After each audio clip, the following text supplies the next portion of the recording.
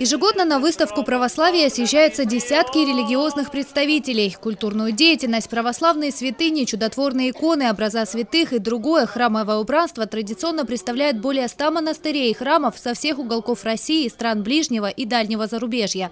В этом году главной святыней экспозиции стала икона Божьей Матери Молчинская целительница, у которой был проведен торжественный молебен в честь открытия выставки. Во веки веков. Икона будет находиться на 105 стенде. Кто желает, там можно больше пообщаться, можно больше узнать из истории монастыря. Представляем обитель одну из древнейших, так как обитель была основана ну, вскоре, по летописи вскоре после крещения Руси святым князем Владимиром.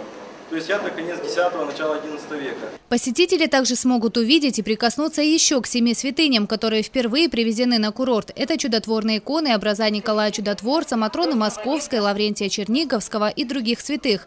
В рамках выставки пройдут семинары, круглые столы, молебные встречи со священнослужителями и настоятелями храмов, а также демонстрация художественных и документальных православных фильмов. На выставке представлены две фотовыставки наших, э, нашего уже известного фотохудожника художника Андрея Немши, который постоянно представляет свою выставку, также и монастырского фотографа, который представляет Джон Дарвиль и привез э, благословения и приветствия от э, Американской православной церкви. На выставке также представлена эксклюзивная литература, которую невозможно найти в нашем городе, и ювелирные изделия. А помимо духовных ценностей, посетители смогут приобрести мед, северные грибы, ягоды, лечебные бальзамы, китайские травы, постную продукцию и изделия из гобелена.